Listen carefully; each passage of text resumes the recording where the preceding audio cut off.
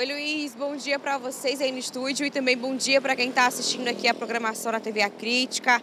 A Defensoria Pública do Estado começou a monitorar esse show que estava marcado para ser realizado neste domingo, dia 12 de maio, após algumas denúncias de que a Prefeitura Municipal, a Prefeitura, a gestão do Careiro Castanho, estaria gastando muito, de forma excessiva, com os shows com o show da cantora sertaneja. Então, depois de algumas análises realizadas, a Defensoria, juntamente com o Ministério Público do Estado do Amazonas, entraram com uma ação civil pública na Justiça contra a Prefeitura Municipal, afirmando que esses gastos, que ultrapassariam mais de 400 mil reais, seriam totalmente excessivos tendo em vista que a cidade de Careiro Castanho carece de muitas outras coisas. A gente pode citar como, como exemplo o que o próprio defensor público colocou no texto que foi entregue ao Poder Judiciário de que hoje as ruas do Careiro Castanho elas estão totalmente esburacadas, não tem pavimentação e o povo carece de atenção básica, de cuidados essenciais dentro da educação, dentro da saúde, como eu falei, da infraestrutura.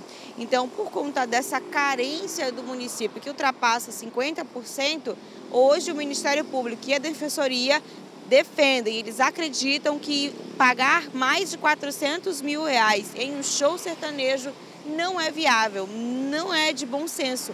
Então, tudo isso foi apresentado, tudo isso foi defendido para o Tribunal de Justiça do Estado do Amazonas, que concordou com esse posicionamento, que concordou, aceitou essa solicitação, e aí o tribunal decidiu bater o martelo, não é? Afirmou show cancelado. Só que ficou uma preocupação ainda entre os próprios comerciantes da região do Careiro Castanho, que já estavam se preparando, já estavam querendo para fazer novos planejamentos para que eles conseguissem renda extra, né? Porque a gente está falando de uma movimentação de economia local. E aí outros shows que estavam marcados para serem realizados nesse período, eles não foram mexidos pelo tribunal.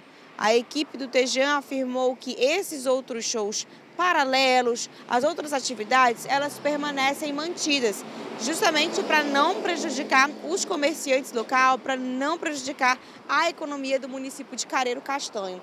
Então, por hora, essa é a, essa é a confirmação no Tribunal de Justiça. Show da Nayara Azevedo, marcado para, para, para este domingo, dia 12 de maio, está cancelado porque, segundo o que foi apresentado aqui no Tejam, mais de 400 mil reais não é viável para uma cidade que carece de atenção básica em saúde, educação e infraestrutura. Luiz.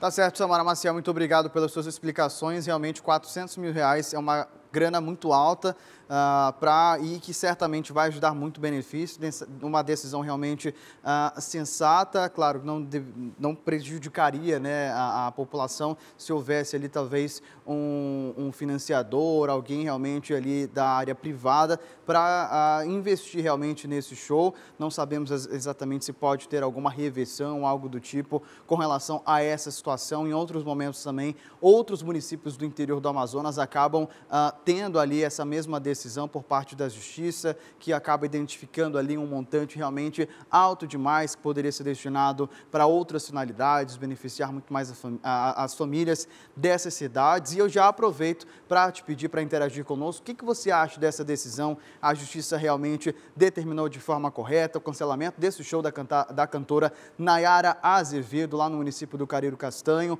ou deveria ter dado uma outra alternativa, uma colher de chá para a prefeitura?